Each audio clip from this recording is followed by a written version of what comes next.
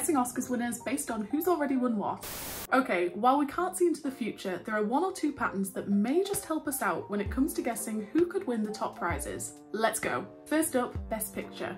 10 films are up for the trophy, however, if history is anything to go by, it's probably going to go to Everything Everywhere all at once. That's because winning the top prize at the annual Directors Guild of America Awards tends to lead directly to victory at the Oscars too. So much so that 13 of the last 20 DGA Awards winners have also gone on to win the coveted Academy Award. And only 8 DGA winners have ever failed to do so in its 75 year history. So while they might have missed out at the BAFTAs, directing duo The Daniels' DGA win was a pretty good sign. Speaking of the BAFTAs, the British awards show features 19 of the same categories as the Oscars, meaning it's no surprise there's often overlap with who wins what. In fact, last year's award season saw a whopping 15 of these awards won by the same nominees. So, possible spoiler alert, BAFTA winners Austin Butler and Cate Blanchett are a pretty safe bet for Best Actor and Actress.